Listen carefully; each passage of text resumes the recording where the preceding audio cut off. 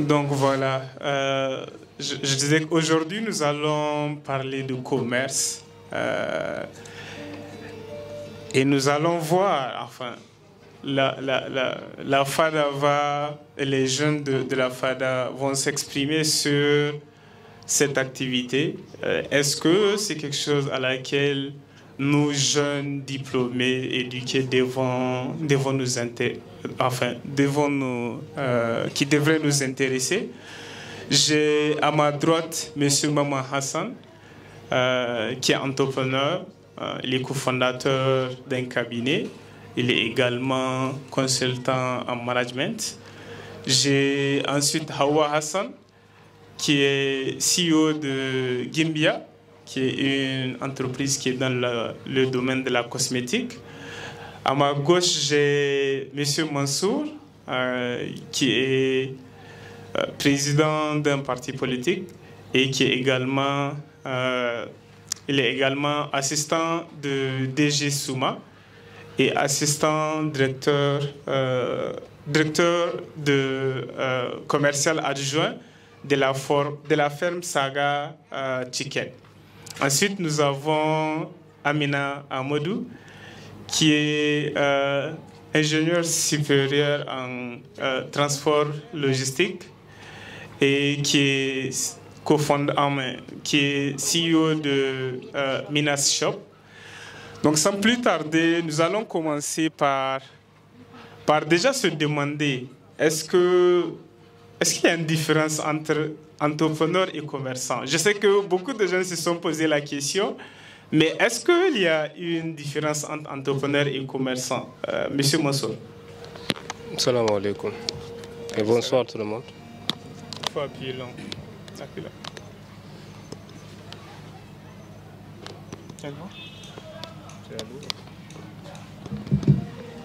Voilà, salam alaikum. Bonsoir tout le monde. Tout d'abord, je vous remercie vraiment euh, de nous inviter à la troisième édition, n'est-ce pas Absolument. De IFADA. Donc, euh, je trouve euh, le cadre très important et un cadre d'échange, venir discuter et causer sur des thématiques bien définies.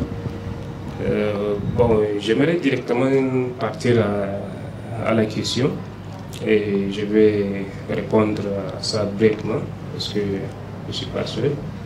Et quand on dit FADA, donc on est venu échanger, on est venu causer et nous allons apprendre de vous, vous allez apprendre de nous. Euh, donc euh, la différence entre un commerçant et un entrepreneur. Je peux dire la nuance est peu. Je vais commencer par euh, le commerçant ou le mot commerce, sans rentrer dans, je sais pas, l'étymologie du mot ou bien rentrer dans la philosophie.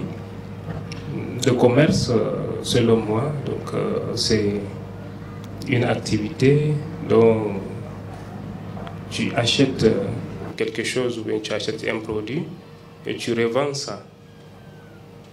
L'objectif pour avoir des bénéfices. C'est ça le commerce.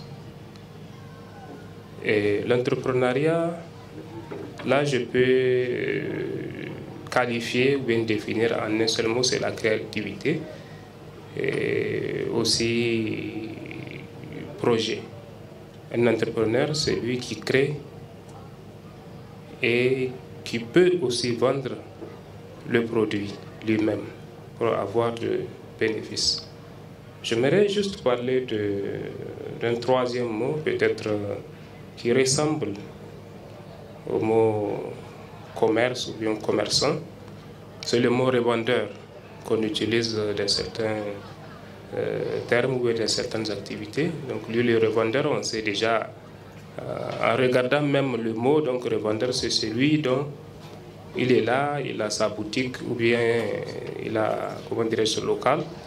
une entreprise ou bien un commerçant va venir lui donner le produit pour qu'il pour qu'il puisse vendre ça pour avoir du bénéfice. Donc, euh, les trois mots, vraiment, la nuance euh, est petite. Donc, voilà, en bref, ce que j'aimerais dire. Et je sais qu'il y aura beaucoup de débats et il y aura beaucoup de choses à dire sur cette thématique. Merci.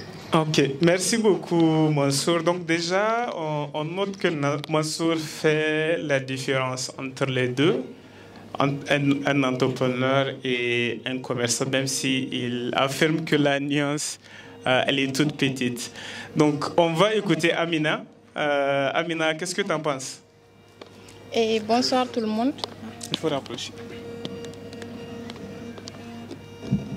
Et bonsoir tout le monde. Et tout d'abord, je tiens à vous remercier d'être là avec nous et merci à ILAP euh, d'avoir pensé à nous jeunes, à cette FADA.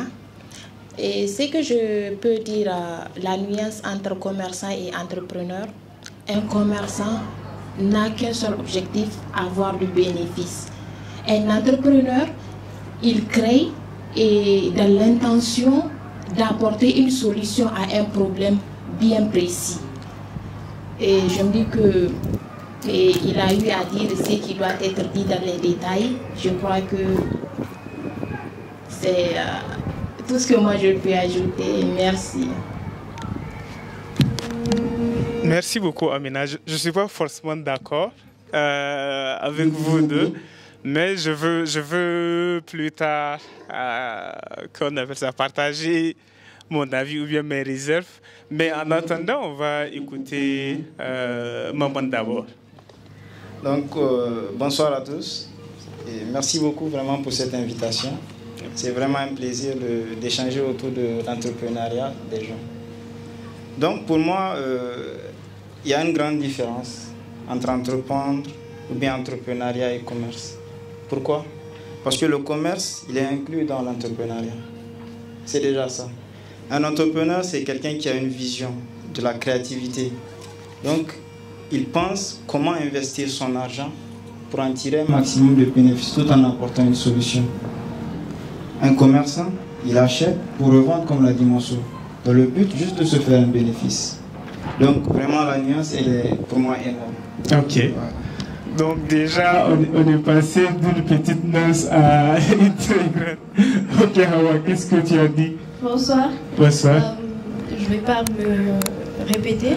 Non, je pense que euh, la différence entre l'entrepreneuriat et le commerce, c'est ce, que, ce qui a été dit.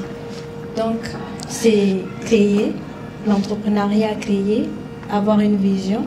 Le commerce, c'est acheter et le vendre. Donc, c'est ça en fait. Ok. Je, je, je, voulais émettre des réserves, mais je veux continuer sur les questions. Est-ce que Jeff Bezos, ou bien Jack Ma, Alibaba, est-ce qu'il est commerçant ou il est entrepreneur? Il est les deux. Il est les deux Oui. Pourquoi? Parce qu'il a créé et sur sa plateforme, il vend. Ok. Donc, juste parce qu'il vend en ligne, il a créé une boutique il est dans les noix, dans les nuages, il est entrepreneur. Il est entrepreneur. Mais celui qui fait sa boutique à côté de IDU n'est pas entrepreneur. Il, il, achète et le revend. Oui, comme, comme Jack Ma. Comme, comme Ma Jeff Bezos.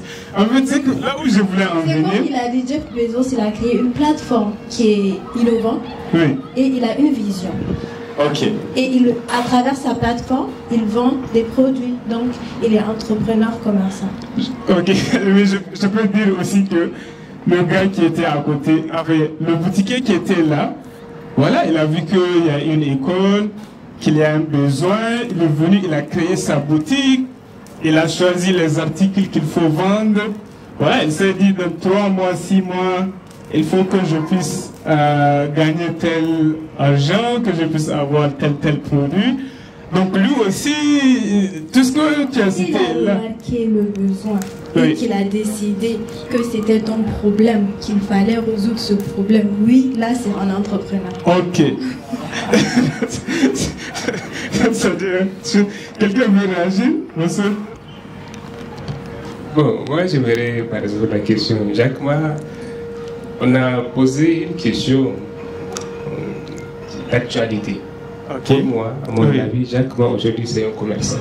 Parce que le produit, il achète et il vend. Ok. Voilà. Donc, euh, je sais pas, l'entrepreneuriat, le terme même, euh, je peux dire, mon frère, il a dit le commerce est à l'entrepreneuriat. Là, je ne peux rien dire. tu peux, tout dire? Mais, entre l'entrepreneuriat et le commerce, le commerce a commencé avant l'entrepreneuriat. Depuis la vie primitive, le commerce a commencé. Oui. Donc euh, là, sur ça, je ne sais pas, peut-être après, je vais voilà.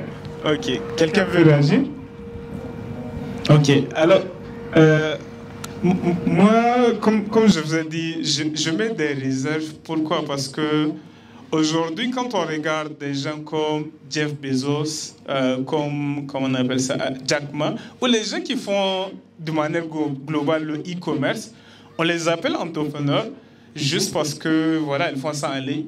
Jack Ma, peut-être, c'est des pionniers, mais si moi, demain, je me lève, je crée euh, ma boutique en ligne, bon, je peux m'appeler entrepreneur partout. Et comment on appelle ça Et derrière le boutiquier qui a créé sa boutique physique de manière physique, moi j'ai créé ça en ligne, lui il a créé de manière physique. Lui, il n'est pas entrepreneur, moi on va m'appeler entrepreneur. Donc c'est les réserves que euh, j'ai par rapport à ça. Euh, maintenant, l'autre chose aussi que je, je, je, note, c'est que euh, est-ce qu'aujourd'hui, en termes de valeur, est-ce que... Bon, moi déjà, je ne suis pas d'accord sur la différence, mais assumons qu'il y a une différence entre les deux. entre la, valeur que euh, entrepreneur apporte et comment est-ce qu'on peut comparer niveau valeur de ce que l'entrepreneur apporte à la société et le commerçant?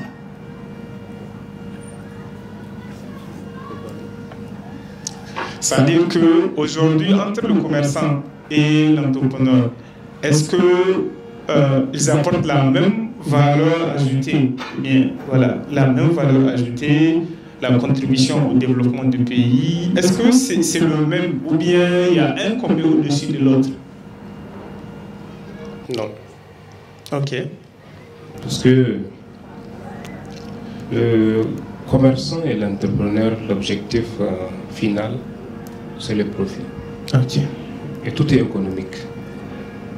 Et quand on regarde euh, le contexte actuel, euh, on va dire, euh, si je rentre dans la théorie des 5 E d'un professeur là, afghan, il a parlé de l'éducation, estime, éducation, entrepreneuriat, énergie et économie. Il a mis l'économie à la fin. Et avant l'économie, c'est l'entrepreneuriat qui vient. Et pourquoi il a mis l'entrepreneuriat avant le dernier mot, qui est l'économie?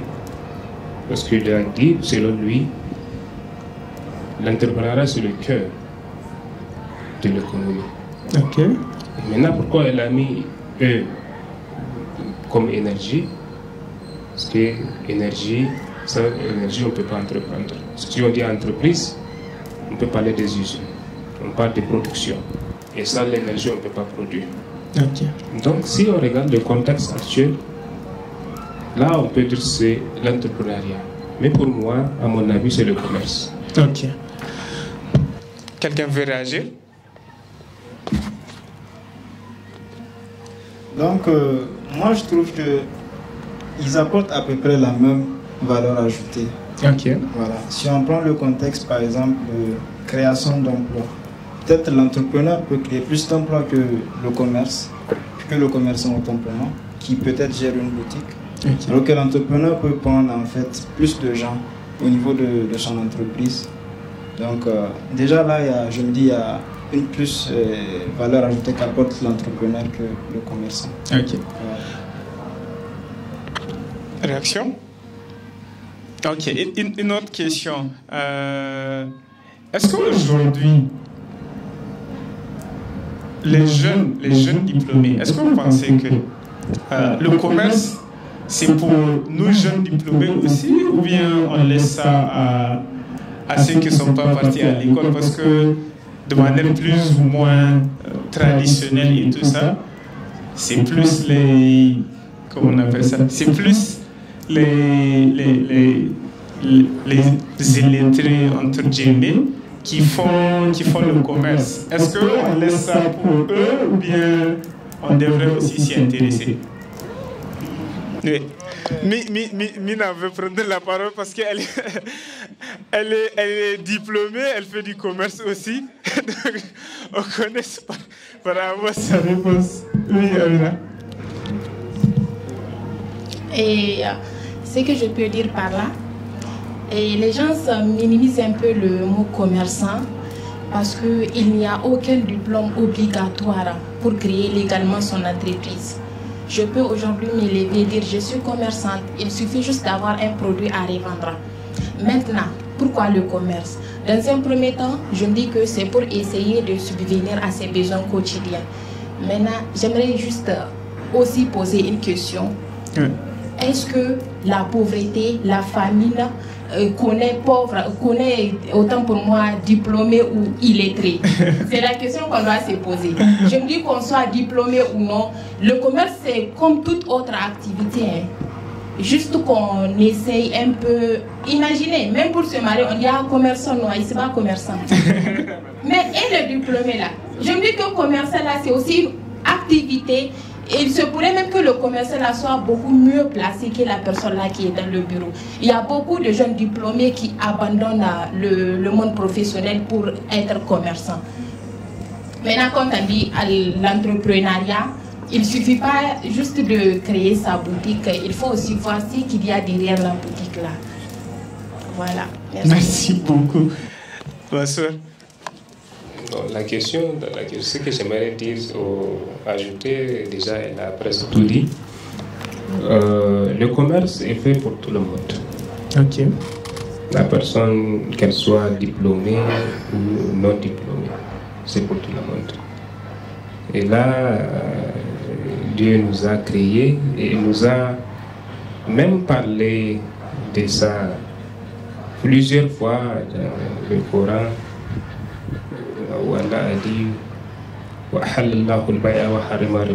il a parlé des bails. Les bails, ça veut dire le commerce. Je vous ai rendu le commerce licite. Ok. Et voilà, si on regarde aussi une autre partie, là où il a parlé de laisser le commerce et aller vers Zikrufa, la surat al-Jum'a. il a allez-y vers Allah et laissez le commerce. Donc, pour ça, donc là, j'aimerais m'appuyer sur ça pour euh, euh, dire que le commerce est pour tout le monde. Ok. Mais, oui, vas-y. on ne peut pas dire que le commerce, c'est pour les illettrés.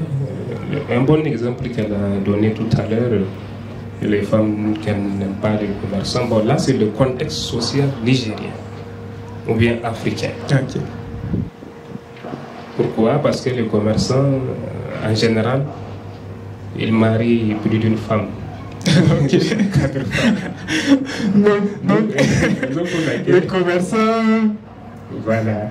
Ils sont toujours polygames. Voilà, en général. En général. Ok. Parce que, ouais, je, je, sais, je veux juste ouvrir une parenthèse.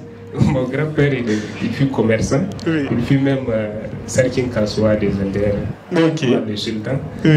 Et mon père, il avait six mamans. Et ils sont au nombre de 48. Donc, vous voyez, raison pour laquelle les femmes. en général, aujourd'hui, la femme va dire que non, j'aime pas un commerçant. Donc, euh, c'est pour ça, je prends un exemple. J'ai commencé à partir au Nigeria depuis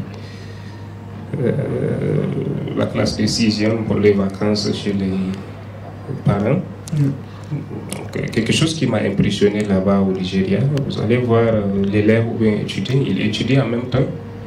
Après le cours, il va partir au marché. Il va faire du commerce. Il va acheter des petits articles pour aller vendre au niveau de la rue, au niveau du grand marché. Donc voilà, ils sont là en train de vendre des produits et en même temps, c'est ce qu'ils font là, ils ne sont pas diplômés. Alors des diplômés. Aujourd'hui, l'exemple de euh, l'homme le plus riche de l'Afrique consiste toujours à Ali côté Donc, côté, il est diplômé. Il a étudié en Égypte. Et voilà, donc, euh, comme il est issu d'une famille euh, de commerçants, voilà, donc après ses études, il est parti vers euh, le commerce. Donc voilà ce que je voulais dire. Merci beaucoup. Déjà, euh, ce qui est intéressant, c'est le poids social aussi euh, qu'il qui y a sur ce métier, même si c'est les zones dites et tout ça. Mais socialement, j'ai l'impression euh, que voilà, quelqu'un qui dit que je suis fonctionnaire et quelqu'un qui dit que je suis commerçant, on n'a pas forcément le même respect pour les deux. Donc, aujourd'hui, on se demande est-ce que les jeunes, les diplômés doivent s'intéresser au commerce? Mais voilà, il y a cette réalité-là aussi. Euh, la société valorise beaucoup plus, comment on appelle ça, beaucoup plus un fonctionnaire, un entrepreneur qu'un commerçant. Et il a parlé du monde anglophone. Euh, euh, justement, dans le monde anglophone, il n'y a pas cette différence-là entre quelqu'un qui fait du commerce ou quelqu'un qui fait un autre travail. On mesure juste le succès. Est-ce que euh, sa boutique génère des millions ou pas? C'est ce, qui, ce qui va intéresser. Et d'ailleurs, même ici, on a beaucoup de commerçants qui sont très très riches. voilà. Quelque chose à, dire par rapport à ça. J'aimerais vous raconter une histoire. Donc, à un moment donné, quand on partait payer certains de nos matériels, on partait au petit marché. Donc, il y avait un vieux qui avait sa boutique. Donc, ma patronne, quand elle vient directement, elle parle en français. Donc, elle est nigérienne, hein, mais comme elle a vécu au Burkina, donc du coup, son accent Hausa et Zalma est un, peu, oui. Donc, quand elle vient, elle lui parle directement en français. Il dit, hey, que, que, que, que, mais ils ont oui. Donc il appelle directement, viens, tu traites avec eux. Le gars, il vient, il prend notre commande, il établit les bons, les reçus et tout, les bons de commande, tout, il met son cachet et tout. Oui. C'est-à-dire, déjà là, il faut comprendre que nous sommes dans un contexte où le monde évolue. Oui. Nécessairement, il faut avoir un minimum de connaissances, il faut avoir étudié pour bien mener en fait son business. C'est une règle d'or en fait. Les clients, surtout nigériens, deviennent de plus en plus exigeants en fait. Donc, ils sont informés, ils savent en fait ce qu'ils veulent, mais ils deviennent encore plus exigeants. Donc, nécessairement, il faut en fait avoir eh, un certain minimum de connaissances quand même dans la gestion d'une entreprise ou bien d'un commerce. Et honnêtement, souvent oui, ça s'apprend de père en fils ou bien genre, dans une famille quoi. Mais il faut aller aussi sur le banc de l'école pour l'apprendre. Voilà. Il y a aussi, par exemple, moi, quand j'étais, j'ai étudié en Algérie. Avec nos amis étudiants, souvent, et quand on descend de la fac, on part subventionner les chantiers. On a notre force de travail, donc on la revend pour avoir quelque chose. Donc, on choisit par exemple les journées qu'on a de libre parce que là-bas, l'emploi du temps est plutôt, voilà, c'est un peu allégé. Donc, on revend notre force de travail pour avoir quelque chose. Donc cette monnaie qu'on arrive à avoir, elle nous permet de nous habiller, de nous nourrir, éventuellement en fait souvent de, préparer la soutenance en fin de cycle. Voilà, donc c'était un peu, Merci beaucoup. Et, et ta réaction m'amène à une question, à savoir peut-être plus pour Amina. Est-ce que euh, le diplôme et l'éducation que tu as ici, euh, ton cursus euh, scolaire, est-ce que cela te sert aujourd'hui dans le commerce que tu fais? Exactement. Et je suis aussi euh, diplômée en communication, marketing et transport logistique, je l'ajoute. Le marketing que j'ai étudié à l'école, c'est ça que j'utilise pour vendre mes produits. Ok. Mais est-ce que, est que ce marketing-là fonctionne mieux que le, le simple commerçant ou c'est comment? Non, vraiment.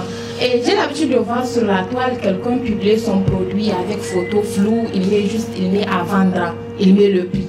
Moi, généralement, je ne réponds jamais à ce genre de choses. Mais pour vendre un jus, par exemple, quand tu fais un bon post avec des jolies photos, avec quelque chose qui va un peu, un peu d'humour entre griffes, ça attire beaucoup les gens. Il faut savoir communiquer. La communication, c'est la, plus, c'est la première piste. Hein c'est la première, euh, c'est une arme fatale pour vendre. Ok. Merci beaucoup. Quelqu'un euh, veut réagir par rapport à ça? Comment est-ce que euh, l'éducation... Je suis totalement d'accord avec elle. J'ai une licence en project management, gestion des projets, et cela me permet de bien gérer mon entreprise qui est Gimbia. Donc, ce qu'elle a dit, c'est vrai. Là, au début, on avait euh, des problèmes en communication parce qu'on était quatre et puis on gérait tout en même temps, on faisait tout, mais on s'était rendu compte qu'on n'avait pas de clients parce qu'on ne faisait pas de la bonne communication.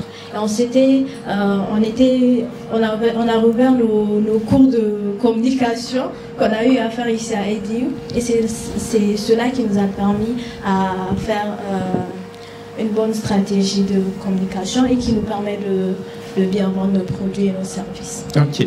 Au-delà de la communication, bon, je me dis la communication, euh, le commerçant aussi, il peut l'apprendre, hein, on appelle ça.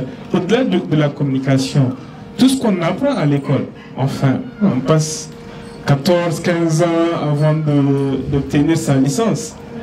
Donc, on apprend beaucoup de choses et tout ça. Au-delà de ça, est-ce que euh, tout ce qu'on a appris, à part l'aspect communication, sur quel autre aspect ce qu'on a appris à l'école peut nous servir euh, à faire du commerce, du commerce et à réussir dans le commerce?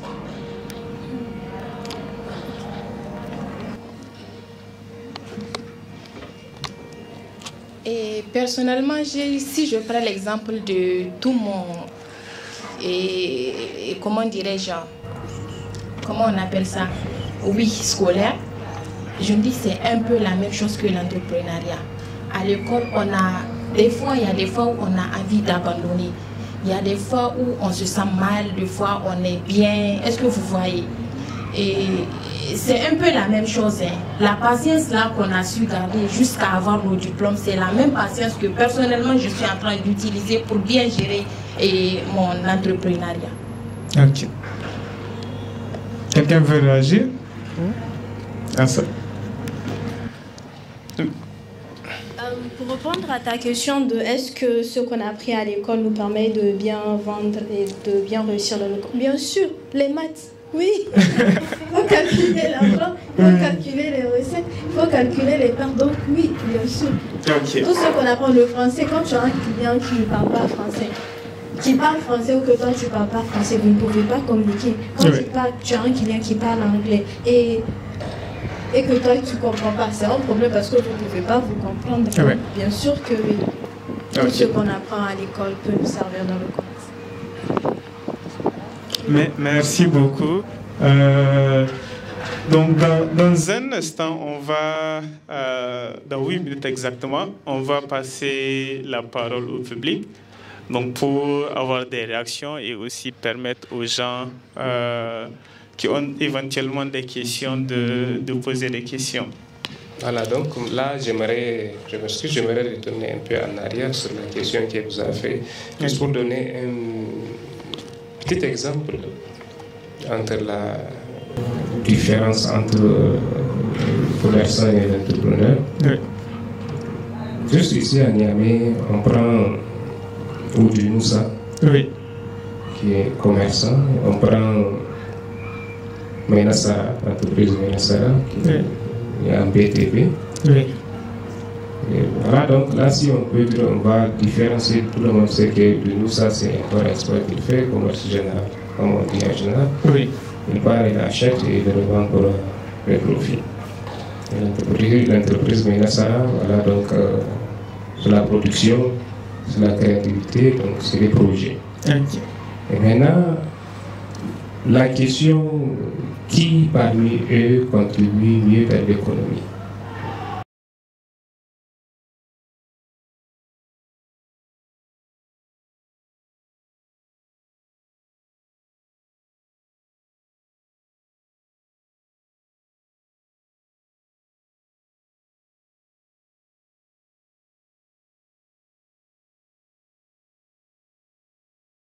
Le projet peut être financé par euh, l'État, c'est-à-dire le budget national. Oui. Ou bien financé par une organisation internationale. Il va produire, il va euh, construire. Et voilà, donc le produit est là. Le bénéfice là, ça sera pour lui. Quant à lui, malgré que c'est l'importation qu'il fait, au moins il y a une recette douanière et la taxe qui part au niveau du, compte de l'État et qui part directement au niveau du trésor. Donc voilà, donc c'est juste pour en bref. Euh, montrer la, de la différence qu'il y a entre la contribution qu'ils peuvent donner, dans l'économie. Mais, mais comment on appelle ça L'entrepreneur aussi, mais n'est-ce pas? Lui aussi, peut-être qu'il qu'il paye la, la, TVA et euh, voilà, il, il, crée de la valeur ajoutée qui, qui, qui par, par ailleurs contribue au PIB et tout. et il importe aussi des choses. Il paye la TVA, tout dépend du marché. Il y a des marchés qui sont exonérés à 100%. Oui. Donc il ne va rien payer, ni la douane ni la taxe. La majeure partie des marchés qui sont financés par euh, les organisations internationales ils sont exonérés. Oui. Donc, ça, c'est un, un, cas bien spécifique. Mais est-ce que ce cas-là. de parler du contexte oui. Du pays. Ok, ce que je veux dire, est-ce que ce cas-là, on peut en faire une généralité? Est-ce que, voilà, parce que ça apporte plus à l'économie que M. Menassara, est-ce qu'on peut conclure à partir de là que voilà, tous les commerçants apportent plus que les entrepreneurs? Au Niger. Donc au Niger, les commerçants apportent plus que les entrepreneurs. Et je, je sais qu'il y a beaucoup d'entrepreneurs ici. Je ne sais pas ce que les entrepreneurs en pensent. Qu'est-ce que euh, vous pensez de, de cela? C'est possible. C'est possible parce qu'aujourd'hui, si nous ferme ses portes pour 24 heures, je pense que Niamey va le sentir quasiment tout le pays, n'est-ce pas? Et, et, si euh, Niger les ferme aussi, est-ce que ça va se sentir? Solani Oui. Vous savez qu'il y a des enfants qui, qui ne dorment pas sans, sans prendre du, du cossum. Oh, Peut-être peut dire, mais... ok. Hein? Oui. Oh, non, non, non, juste... oui, la question qu'il fallait poser. Oui. ici, les deux fermes. Si les deux fermes, si les deux fermes oui. Où est-ce qu'on va sentir? Bien sûr, au niveau du commerçant. Ok. Parce que déjà, l'entrepreneur en général, c'est des chantiers. Même si on va dire il emploie beaucoup de gens, beaucoup de jeunes, tout dépend du contrat qu'ils vont signer. La majeure partie des contrats, bon, je suis dans les domaines, euh, c'est des contrats qui sont déterminés, maximum un an. Euh, tout dépend de la durée du chantier. Vous signez le contrat si le chantier est fini, donc voilà. Mais, mais il y a des entrepreneurs aussi qui produisent des biens. J'ai donné le cas de Niger Lait. Euh, il produit des produits alimentaires et il y a beaucoup d'autres aussi. Là aussi, c'est parce que pourquoi j'ai parlé du commerçant, j'ai bien souligné qu'ils ne font qu'importer. Aujourd'hui, le contexte actuel du Niger, on a plus d'importateurs que ceux qui produisent. Il y a peu d'industrie au Niger. C'est-à-dire ils, ont, ils pèsent plus lourd dans l'économie que euh, les commerçants pèsent plus lourd que, l'entrepreneur. Mais est-ce que ça aussi... Quant aux autres entrepreneurs qui créent des entreprises, euh, des industries, c'est eux qui boostent vraiment l'économie du pays. Parce que en même temps, ils produisent et la recette est interne. Et aussi, ça sera exporté. Et quand on prend la balance euh, commerciale du pays, au lieu d'être euh, comment dirais-je, déficitaire, être excédentaire. Oui. Voilà, donc là, ça peut contribuer vraiment euh, dans l'économie et ça va éviter l'inflation dans le pays. Oui. Ok. Donc voilà, nous allons euh, passer aux questions et réactions du public. Je ne sais pas sur le live, est-ce que nous avons des questions? Abdallah, tu, tu, peux, tu peux nous relever cela si nous avons des questions. Donc nous allons passer le micro euh, au public. Vous connaissez le principe, c'est la fada, c'est la bonne humeur. On parle sans tabou, on dit ce qu'on pense. Et voilà, le tout dans, la bonne humeur euh, et le partage. Donc, Amina, tu peux, tu passer le micro? Qui veut, je ne sais pas qui veut prendre la parole. Euh, donc, merci beaucoup pour la parole donnée. Bonsoir, cher ami de la FADA. J'ai été ébahi par vos propos. Merci beaucoup pour la richesse conceptuelle de vos mots. Et je voudrais juste apporter peut-être une contribution au niveau de la nuance entre le commerce et l'entrepreneuriat. Vous avez très bien défini en fait l'entrepreneuriat. L'entrepreneur, c'est quelqu'un qui a une vision. Donc il y a toujours cette question de vision, cette notion de vision. Il y a cette notion également de créativité. Maintenant, pour le commerçant, lui, il, achète quelque chose, il le vend juste pour subvenir à ses besoins. Donc il n'y a pas. En fait, la nuance que je voudrais amener ici, l'entrepreneur, c'est que au niveau de l'entrepreneur, il y a toujours un suivi permanent en vente. C'est-à-dire le commerçant, quand tu viens, tu achètes, c'est fini entre vous. Alors que l'entrepreneur, c'est pas ça. Il essaie d'aller au-delà de ça. Il essaie de créer une certaine affinité entre vous et lui. Merci. Je vois derrière, le frère qui, qui, est en train de tourner la tête depuis un bon moment. Oui, je ne sais pas si il me semble qu'il n'était pas du tout d'accord. Euh, il était en train de hocher la tête. Euh, le frère, présentez-vous. Qu'est-ce que vous en pensez? Euh, Bonjour euh, ou bien bonsoir tout le monde.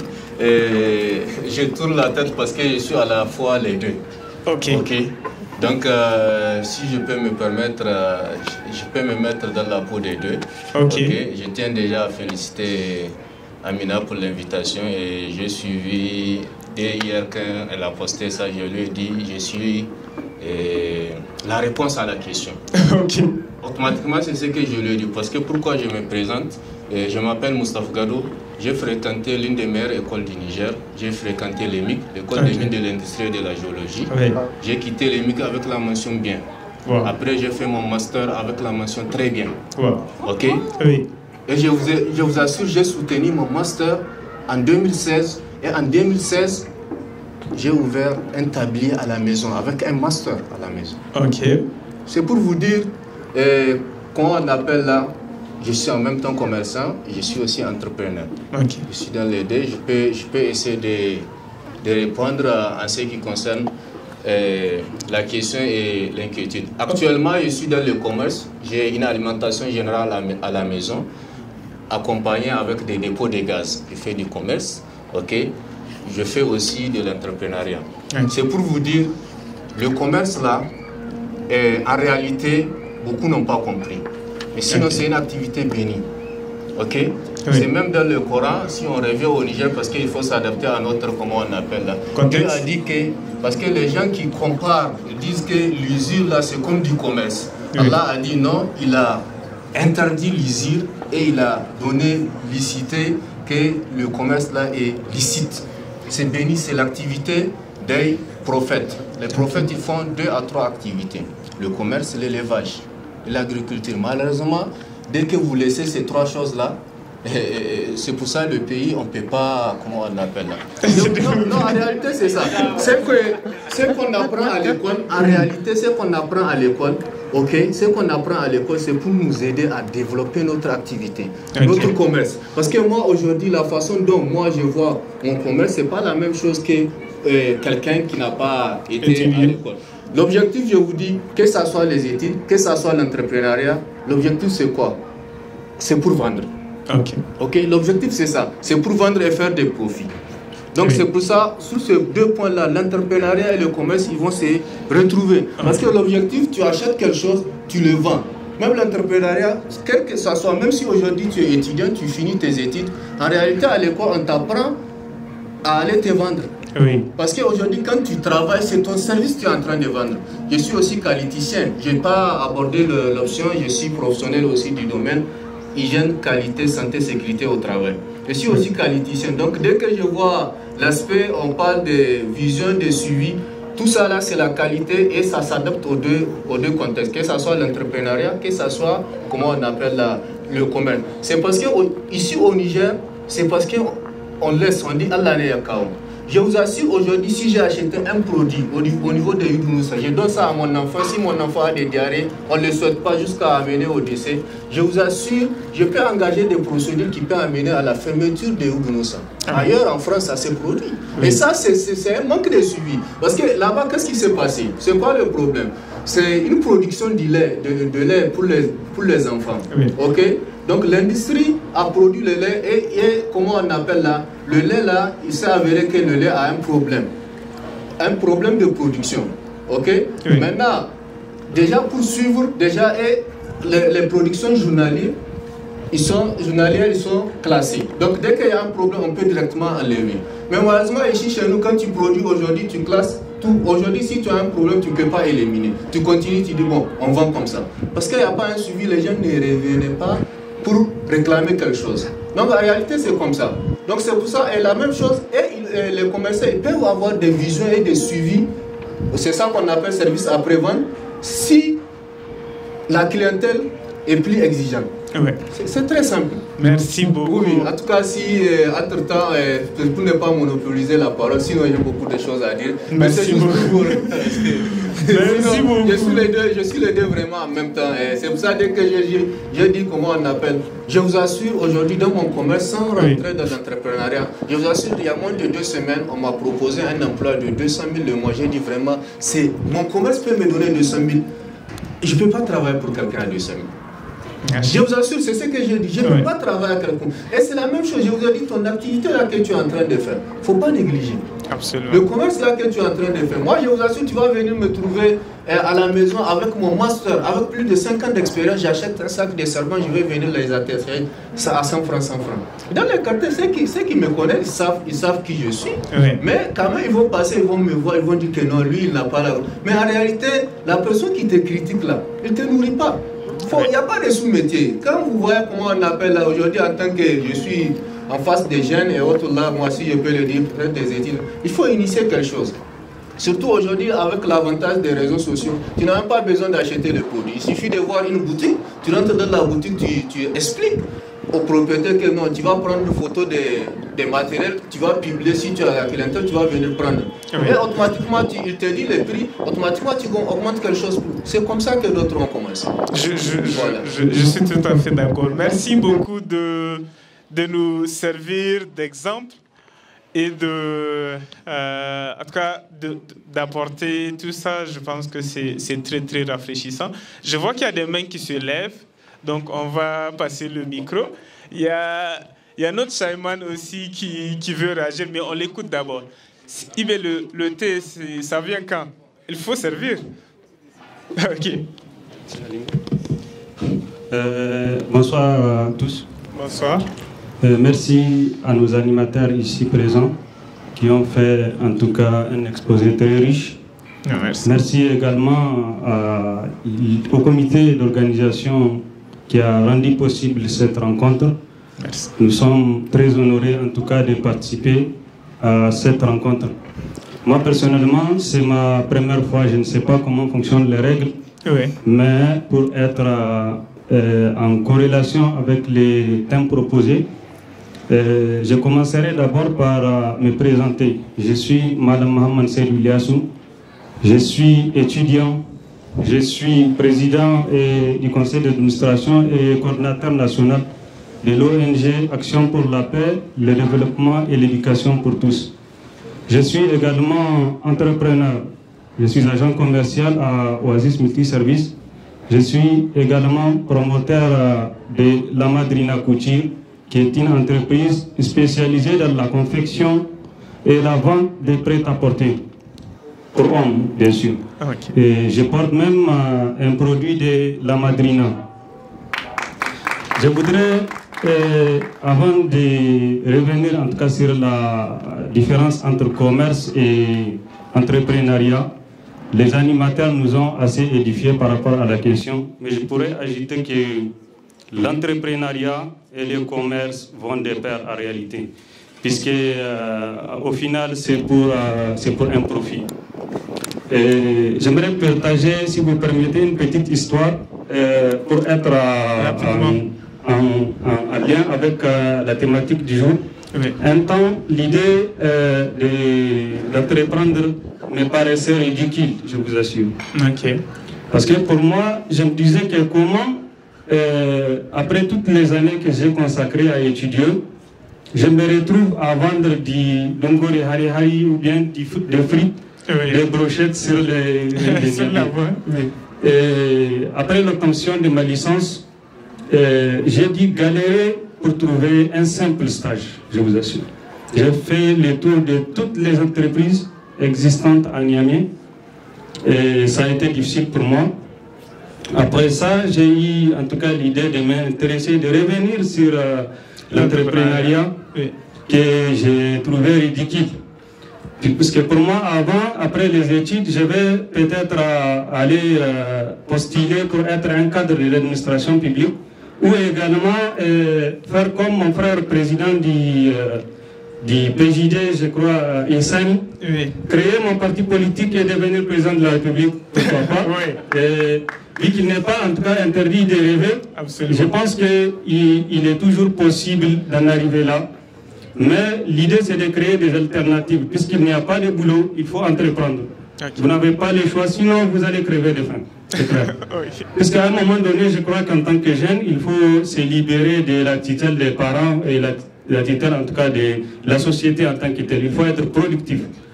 Donc en général, euh, nous avons l'habitude de dire que euh, l'entrepreneuriat, euh, c'est une activité sociale. Pour moi, il n'y a pas une qualification ou bien une spécification pour être entrepreneur. C'est une activité économique. Donc toute la société peut entreprendre. Donc euh, merci. En tout cas, voilà ce que j'ai à dire euh, par rapport au thème en tout cas du jour. Merci, euh, merci, en tout cas, merci. Merci beaucoup. Il y a une autre main à côté. Et il y a, il y a Ibe qui veut aussi prendre la parole. Mais on ne va pas lui donner le micro tant qu'il ne sert pas le thé. Donc on va, on va prendre le thé d'abord. Voilà, merci beaucoup. Moi, c'est Moussa Sanayouba. Je suis ingénieur en énergie et technologie nucléaire. Euh, c'est ma première fois. Je suis très ravi d'être parmi vous. Euh, moi, je voudrais réagir par rapport à la première question, la toute première question d'ailleurs, et aussi à l'intervention de mon camarade ici présent. Par rapport à la différence entre un commerçant et un entrepreneur, moi je suis d'accord avec euh, le premier intervenant là, à votre gauche, je crois bien. la nuance est vraiment minime. Pour moi, la nuance, un commerçant Vraiment, c'est celui qui s'intéresse uniquement aux bénéfices. Alors qu'un entrepreneur, pour lui, il a un projet, donc il a une vision, il cherche euh, à prédire genre, les pertes et aussi mettre en valeur son produit. Parce qu'il ne sert à rien de vendre juste pour vendre. Il faut savoir mettre en valeur son produit. Donc euh, un entrepreneur, par exemple, il va essayer de mettre, euh, d'abord de donner un nom à son produit, essayer de mettre un peu de couleur et faire aussi la bonne communication. Alors que pour un commerçant, lui, il achète, il part euh, au marché et juste vendre. Tandis qu'un entrepreneur, pour lui, il va essayer même de prévenir est-ce que combien il va gagner, qu'est-ce qu'il va perdre, et faire des prévisions en quelque sorte. Euh, par rapport à l'intervention de mon frère, euh, vraiment je trouve l'idée très géniale. Après, et aussi c'est très courageux, parce qu'avoir un master aussi avec une mention très bien et abandonner pour aller faire du commerce, vraiment c'est très encourageant. Mais ce que je ne comprends pas, est-ce que maintenant, ou bien je voulais lui poser une question, genre il a son master, maintenant il a laissé tout, ou bien qu'est-ce que... Parce que c'est là vraiment que je n'arrive pas à comprendre. Arriver à avoir un master avec une mention très bien. D'accord, il faut avoir une, euh, euh, une activité. Oui, il faut avoir une activité. Mais laisser aussi plus de 20 ans de carrière sur les bancs, les laisser aller comme ça, moi vraiment, je ne trouve pas ça encourageant. Par exemple, même, c'est pas un bon exemple quand même pour la famille. Parce que les petits frères sont là à observer. Ils vont dire, bon, celui-là, il a une mention très bien. Il est arrivé jusqu'au master et maintenant, c'est plus... Bon, alors, est comment il va dire aux enfants d'aller à l'école ou quelque chose comme ça? Merci, euh, beaucoup, Pour, la question et l'observation. Est-ce que, euh, je, pense pour, pour reformuler ça, vous voulez passer le micro? Est-ce que avoir un euh, master ou bien en tout cas être diplômé et aller faire du commerce, c'est abandonner nos études, tout ce qu'on a appris ou bien c'est une continuité en soi, c'est aussi euh, ce qu'on peut se, se, demander. Donc je vais laisser le, le, frère réagir par rapport à la question. Ok, merci beaucoup. Je pense bien, je ne sais pas si je me suis fait comprendre. C'est pour ça que je vous ai dit, je suis les deux en même temps. Ok.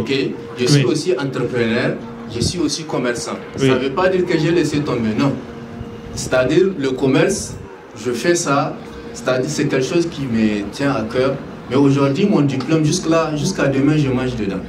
Ok. Oui, oui. Jusqu'à demain, je suis aussi formateur dans mon domaine. Oui. et j'ai tenu beaucoup de formations, j'ai fait des consultations. C'est-à-dire le commerce, ça me permet de ne pas me mettre la pression. C'est-à-dire, je me rappelle euh, en 2016, quand je, euh, en 2016, oui, quand je finis mon, mon master sur un chantier, comme je suis aussi dans le BTP, oui. je vous assure, à l'entretien, on m'a proposé un salaire de 150 000. Je n'ai pas réfléchi, j'ai accepté. Je n'ai même pas dit comment. C'est après je vis la quantité de, travaux, j'ai dit que donc vraiment je me suis, je me suis trahi. J'ai tout fait pour faire rehausser le salaire et c'est pas possible. Donc c'est pour ça que je vous dis maintenant avec le commerce là, au moins j'arrive à gérer ma famille sans pression. J'arrive à gérer ma, ma maison, l'électricité, mon transport, tout ça là avec mon commerce. Cela veut dire aujourd'hui quand je pars, quand je suis face à un recruteur, je ne me mets pas la pression. Je fixe mon prix. Si ça te va, on conclut. Si ça ne te va pas, Oh, euh, euh, il faut chercher ailleurs. C'est ce que je vous dis. Aujourd'hui, avec le commerce, ok, j'arrive vraiment à, ne pas me mettre la pression. Oui, oui, c'est ce que je suis en train de dire. Le commerce, euh, j'utilise ce que j'ai appris pour améliorer encore mon commerce. Parce que qu'est-ce que je fais? Je vous assure, j'ai fini un chantier, on m'a donné mes droits, automatiquement j'ai ouvert un dépôt de gaz. J'ai ouvert un dépôt de gaz. Chaque fois, je vous assure, un jour j'ai pris mon salaire là, automatiquement je me suis rendu au niveau de Ori Bagas pour ouvrir un dépôt. Je suis revenu à la maison avec 2000 francs dans mon salaire. J'ai ouvert un dépôt. Moi, je suis déjà content parce que je sais que le dépôt là, ça peut me tenir le mois. Et je vous assure, aujourd'hui, dans mon commerce, il y a des, fonctionnaires de l'État qui me donnent de l'argent. Non, c'est pour dire la vérité. Dans mon commerce, il y a des fonctionnaires déplacés qui me donnent de l'argent. Ok, c'est pour vous dire que le commerçant là que vous négligez dans le quartier. Je vous assure, si vous faites, si vous faites sortir la, liste des, gens qui lui doivent de l'argent, vous n'allez pas croire. Alors que lui, c'est un commerçant, c'est un détaillant. Oui. Lui, aujourd'hui, si tu lui dis de venir travailler pour l'État ou bien pour quelqu'un, il va te dire non, on ne peut pas le payer. C'est pour ça que je vous, je vous assure, ça ne fait pas deux semaines. Si j'ai même les, les, les, messages, on m'a proposé 200, j'ai dit non, je ne peux pas. Parce que je vous assure, dans mon commerce, je peux avoir 200 000 de bénéfices le mois dans mon commerce. Donc pourquoi je vais aller C'est pour ça que je ne me mets pas la pression. C'est ce que je n'ai pas abandonné. Les, diplômes, jusque-là, je mange dedans. Aujourd'hui, si on fait des offres, je vais aller, mais j'ai déjà ma, ma, femme qui va gérer la boutique. Elle aussi, je lui ai payé les études. Cela veut dire qu'avec la boutique, elle n'avait pas besoin d'aller chercher. Mais on investit, on investit dans la boutique. Mais s'il vous plaît, il ne faut pas faire les erreurs que j'ai eu à faire avec euh, les membres de la famille, je vous assure dans votre activité, si, même si c'est votre propre frère, si vous ne pouvez pas le renvoyer, il ne faut pas le recruter. Parce que la boutique là, je vous assiste parce que ça me tient à cœur. Les gens, j'ai mis plus de trois personnes, plus de trois fois la boutique là était zéro à cause j'ai relancé. Parce que je, je connais l'importance. Ça me permet d'accompagner le mois. C'est ce que je suis en train de dire vraiment. Euh, dans votre activité, même si c'est. Eh, il faut toujours faire l'inventaire. Même si c'est votre frère de sang, il ne faut pas dire que non, il va dire que vous n'avez pas confiance à lui. Il faut toujours faire l'inventaire. C'est pour ça que je vous ai dit ce qu'on a appris à l'école, ça, nous a servi. Et aujourd'hui, si je n'ai pas été à l'école, on va toujours en train de tourner en perte. Et je ne sais pas faire l'inventaire, on ne va pas venir faire la situation. Est-ce qu'on a des bénéfices en réalité? Parce que toujours tu vas voir la boutique, c'est en train de tourner, peut-être tu es en train de tourner en perte. C'est ce que je suis en train de dire. L'école, ce que tu as appris à l'école, ça te permet ok, de rendre ta, ton activité professionnelle. Par exemple, moi, j'ai lancé, par exemple, c'est pour ça que je vous dis, je suis aussi entrepreneur. J'ai lancé Sauti Gaz, une livraison de gaz à domicile. Et je vous assure, les clients étaient très, très, très contents. Ça marchait très bien. Et j'ai eu un travail, j'étais parti à Pony. L'activité là était, peut-être maintenant c'est quelques maisons. Avant là, c'est quatre cités, je ravitais. Je ne sors même pas dans, ma, zone de confort. Merci beaucoup. On va, on va passer le micro à l'autre frère. Je pense qu'il y a une question à laquelle la FADA n'a pas répondu. C'est de savoir aussi, est-ce qu'à travers le commerce, un jeune diplômé, est-ce qu'on peut s'accomplir à travers le commerce? Est-ce que derrière, on peut aujourd'hui se dire que je suis diplômé, je fais du commerce, et je le fais parce que c'est mon activité. et je veux réussir uniquement dans le commerce, sans regarder à côté, est-ce qu'il y a une activité à gauche ou à droite ou bien? est-ce que demain, je vais avoir une offre d'emploi qui va me rapporter plus? Donc, est-ce que le commerce aussi, pour des diplômés, c'est une activité qui va nous permettre de nous accomplir en tant que personne et dans laquelle nous pensons faire carrière jusqu'à jusqu'à la fin jusqu'à la retraite ou même à la fin de notre vie. On, va laisser le, le, frère réagir derrière. Voilà, euh, je suis Jibril, euh, je suis commerçant. J'ai étudié le commerce international et économie. Euh, donc après mes études, je suis revenu au Niger.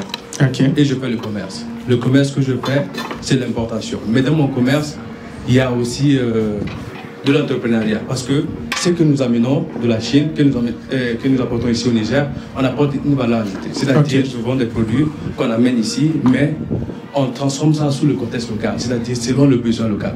Ça, c'est une solution. Et moi, je pense que l'entrepreneuriat et le commerce vont de pair. Le commerce, peut-être c'est une vente de biens. L'entrepreneuriat, c'est une vente de services. Au final, c'est le profit qui compte. C'est-à-dire, en anglais, il n'y a pas de différence. C'est trading services ou bien trading goods. C'est la même chose. C'est ce que je, ne sais pas pourquoi dans la langue française, il y a une différence. Et moi, je pense il y a une autre chose ici. Le problème, c'est que ici, l'entrepreneuriat ou le commerce, c'est comme une seconde option. Non. Moi, je travaillais. J'ai laissé mon travail pour venir faire le commerce. Ce n'était pas une option. Si je voulais être travailleur, j'allais continuer à travailler là où j'étais avant de revenir ici. Voilà, c'est tous ces différents aspects qui font que je pense que c'est un peu l'aspect culturel aussi. Le commerce et l'entrepreneuriat, c'est la même chose, il n'y a pas la différence. Euh, l'important, c'est d'amener des solutions. C'est-à-dire, par exemple, disons, ça oui. c'est un commerçant. Mais le travail qu'il fait derrière, c'est tellement fort. Il a créé une ligne de distribution très forte. Disons, maintenant, dans près chaque vent, ils ont amené des gars qui sont en train de distribuer des produits. Ça, c'est très fort. Créer cette ligne de distribution, même des jeunes diplômés, par exemple, moi je suis diplômé de commerce, c'est difficile. C'est risqué déjà. C'est risqué déjà de faire de créer toute une ligne de distribution. Par exemple, dans un pays où on donne aux gens, après la vente, ils viennent les ramènent et que ces gens sont honnêtes et qu'il y a des gens qui suivent les produits, la quantité. Et c'est des, des, centaines de conteneurs qui viennent, ben, disons, par année, beaucoup de conteneurs à faire ou bien à gérer telle, entreprise aussi, je pense que euh, même les gens diplômés, ça serait difficile pour eux. Donc voilà. Tout, tout, à fait. Je, suis très d'accord, euh, monsieur Gibril. Et je, voulais justement poser la question parce que j'avais relevé le point juste avant que vous ne preniez la parole. Est-ce que vous pensez que le commerce, pour quelqu'un qui est diplômé, est-ce que le commerce peut être une activité qui va lui permettre d'être épanoui et vraiment de se dire que j'ai réussi ma vie. Je, je, je suis commerçant par choix, pas par défaut, et je veux faire du commerce et je veux réussir dans le commerce. Absolument. C'est ce que je veux faire de ma carrière. Je veux faire le commerce et je veux réussir dedans. Et je suis sur cette voie-là. Voilà. Merci beaucoup. Merci bien. Oui. Je suis totalement d'accord avec monsieur qui vient juste de parler. Euh, quand je voulais faire ma licence, je voulais faire comme major entrepreneuriat. Au début, il y avait euh, le major. Mais ma famille me disait, tu veux faire quoi? Entrepreneuriat, c'est quoi? Tu... Tout le monde travaille, toi, tu veux faire entrepreneuriat. Et j'ai dit, ok. Donc, je suis allée en project management par choix, pas parce qu'on me l'a imposé. Et je, le, je fais project management parce que c'est la même chose avec entrepreneuriat. Et actuellement, je ne veux pas faire de master, du moins pour le moment, parce que j'ai décidé juste après la licence de faire... Non, je pense que j'ai commencé, j'ai commencé l'entrepreneuriat avant la licence. Donc, je me suis lancée directement dedans sans, sans hésitation. Donc, oui, je réponds oui à ta question, tu peux le faire. Merci beaucoup. Pourtant, parce que j'entends et parce que j'apprends de vous, je pense que vous me donnez une notion qui me dit est-ce que le commerce ne fait pas partie de l'entrepreneuriat? Parce que le commerçant, il cherche des bénéfices tout comme l'entrepreneur aussi. Donc c'est pourquoi je me demande, est-ce que ça ne fait pas partie de l'entrepreneuriat aussi? C'était une question que j'avais à vous adresser. Merci beaucoup. Moi, moi personnellement, je fais aucune différence entre les deux.